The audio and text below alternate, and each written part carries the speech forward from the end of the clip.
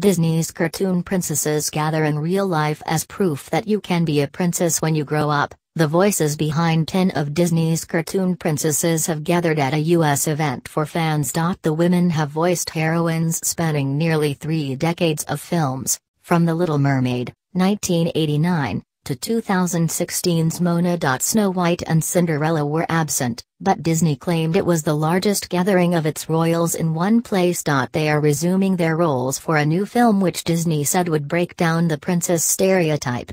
Next year's release, Wreck It Ralph 2, will feature all the Disney princesses in a scene where they wear t-shirts, not dresses, and discuss the challenges of being perfect?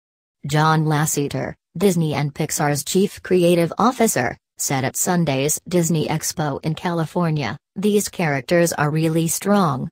We love to think of them way beyond just the movie that was made. The princesses in their own words image copyright EPA image caption Disney fans dressed up for the expo in California I would change who I am, change the sea for the sand just to stand with you. Ariel from The Little Mermaid What I love most about rivers is you can't step in the same river twice. The water's always changing, always flowing. Pocahontas want adventure in the great wide somewhere. I want it more than I can tell. Beauty and the Beast spell let it go, let it go, can't hold it back anymore. Elsa from Frozen Okay, first, I am not a princess.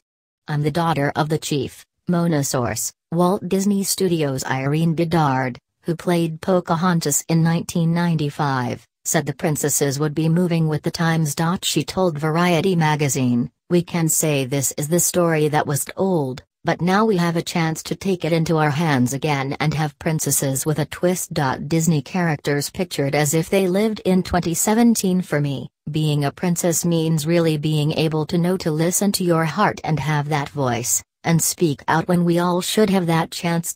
Disney, which has faced questions over the impact its princesses might have on young girls' ideas of perfection, has more recently attempted to rework its on screen heroines. Moana featured a princess with an average body type, while this year's Beauty and the Beast portrayed Belle as an inventor.